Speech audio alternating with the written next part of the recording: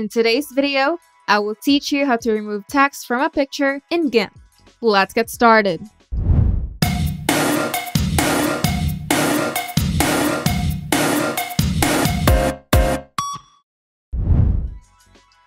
Removing text from an image is a common task in image editing, and GIMP provides several methods to achieve this.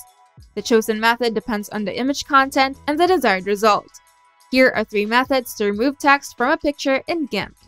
The first method is by simply removing text using a simple color fill.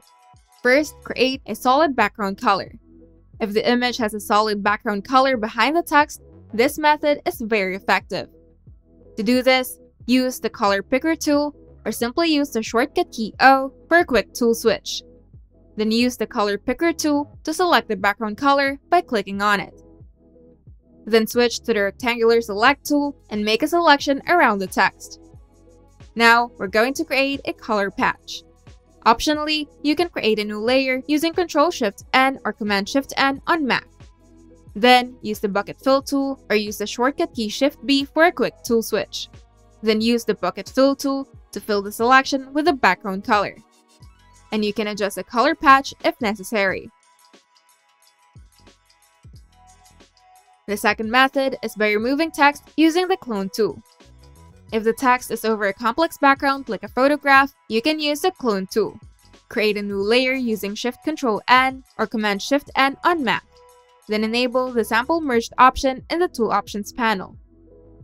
Now we're going to identify the clone source point. To do this, hold the Control key and click the spot on the image to set a source point. Then click and drag with the Clone tool to paint over the text, making it seem to disappear.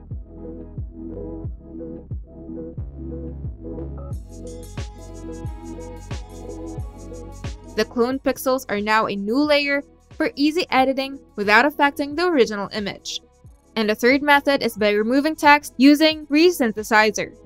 For this, you have to install the Resynthesizer plugin. Resynthesizer is a powerful plugin for GIMP, providing a content-aware fill feature. Now install the Resynthesizer following the plugin installation guide for GIMP. And to use the plugin, Switch to the rectangular select tool and make a selection around the text. Then open Filters, go to Enhance, then select Heal Selection. Resynthesizer will attempt to fill the selected area intelligently. Note that Resynthesizer doesn't output the patch on a separate layer, limiting non-destructive editing. These methods offer flexibility based on image characteristics and user preferences. Whether using color fills, the clone tool, or a powerful plugin like Resynthesizer, GIMP provides a range of tools for effectively removing text from pictures. If you find this video helpful, make sure to leave a like and subscribe. And if you want to see more tutorials, turn on the notification bell to get notified whenever we upload new videos.